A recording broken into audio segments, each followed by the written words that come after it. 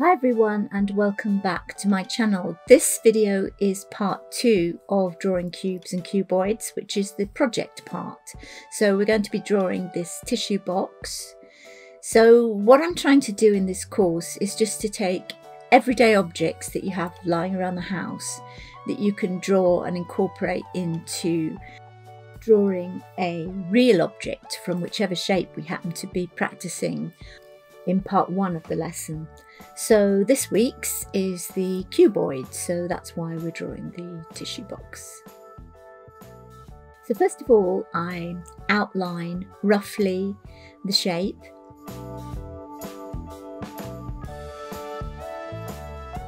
And then I keep refining it. So I keep coming in again and again and refining it. And also I'm marking in where the, the actual tissue comes out the tissue box and the shape. There's no shading at this stage because you're still trying to get the outline correct. And because I'm drawing straight lines, I have used a ruler because my straight lines aren't always that straight.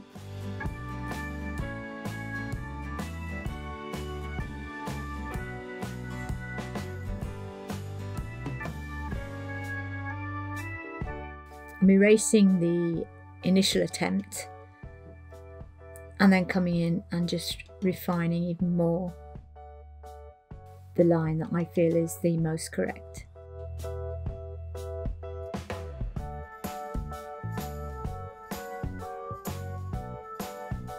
And just keep going over the line until you're really happy with it.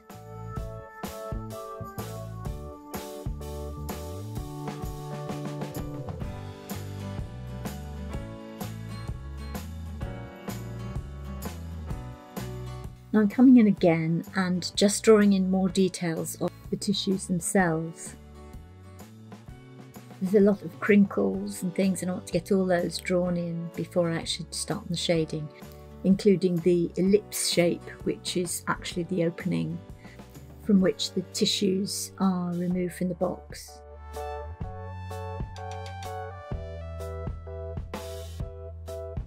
It's important to get the outline correct at the beginning because in that way you will be happier with your drawing and it's easier to erase it then rather than once you've already started shading.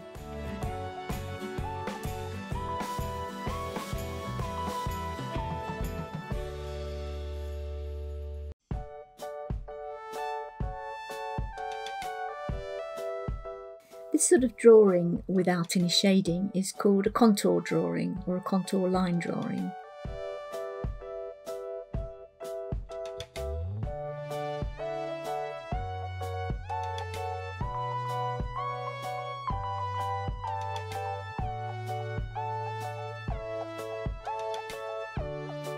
And if you were make, going to make a painting out of it, then the contour drawing is, is more important because you wouldn't do any shading, you would then colour it in from this stage.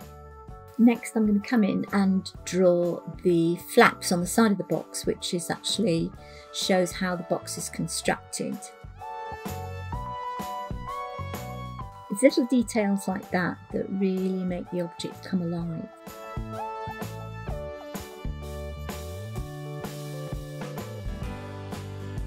and then I'm shading or at least darkening the line where the flap meets the side of the box because it's very dark there and then coming in and shading it.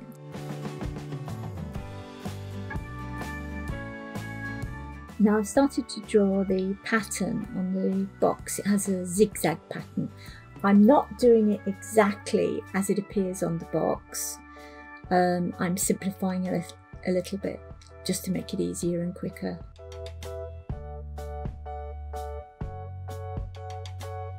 You have to try and give the illusion as it's going over an edge of the pattern folding over, which is quite difficult to do.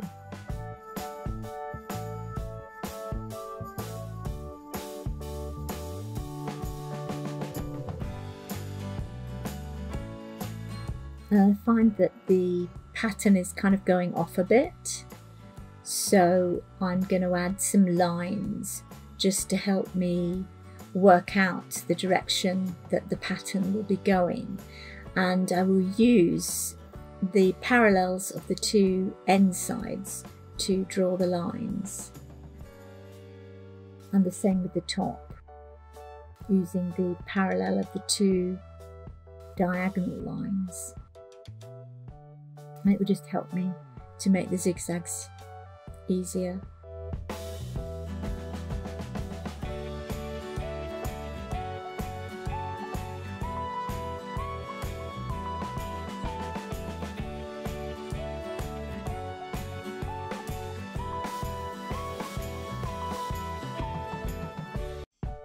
And if you think drawing is always an illusion, you're trying to give the illusion of, that something is three dimensional when it's actually on a two dimensional piece of paper.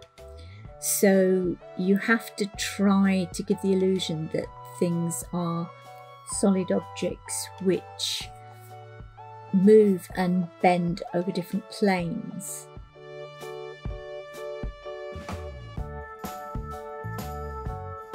I'm coming in and shading the zigzags and then I'm going to come back and shade in the end with the flaps again which is more in shadow than the other side.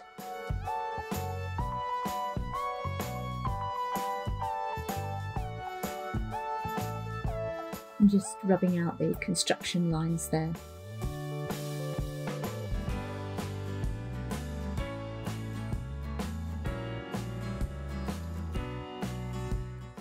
Over the zigzags again.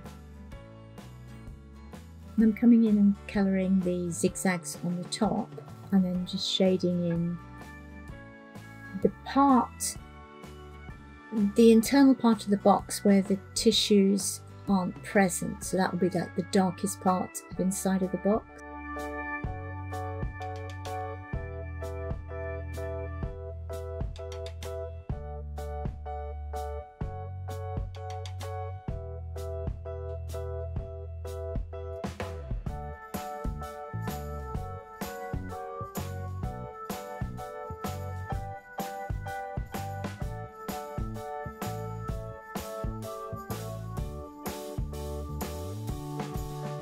And then more of the zigzags.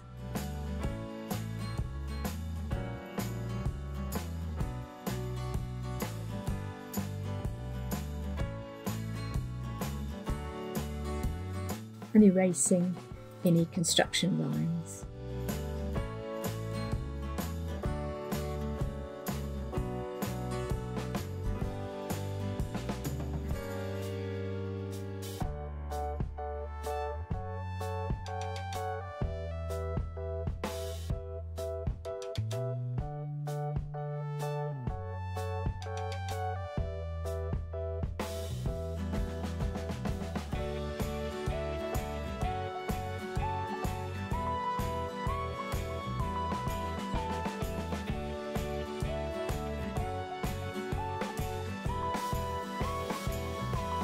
And then drawing and colouring in the zigzags on the side of the tissue box.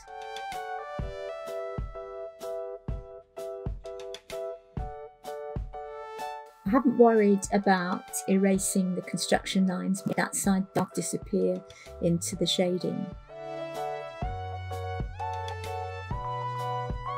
What we've got to think about is what is going to be the lightest thing in this particular drawing and it's going to be the tissues because they were white so they will always want to appear lighter than the actual box so the whole box will need some shading in.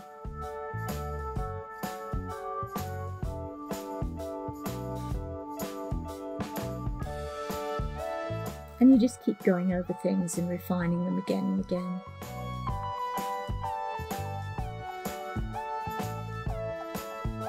Which is the same whatever item you happen to be drawing. Just keep coming back to it again and again until you're happy with it.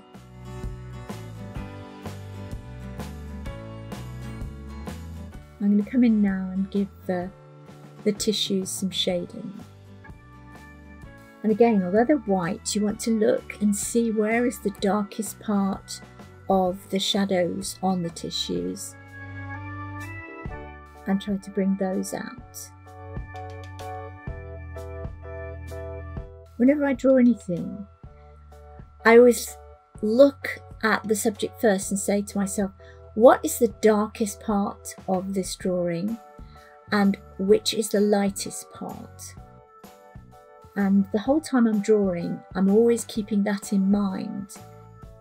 Because whatever you draw the darkest, then everything else has to be shaded in relation to that. And the lightest thing, well, you can't go any lighter than the colour of your paper.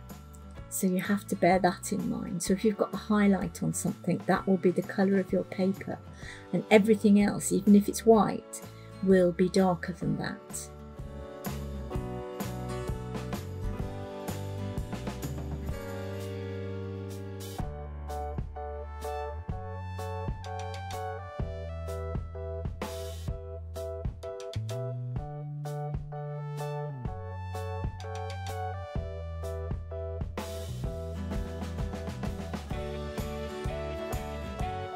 Now coming in and putting the shadow.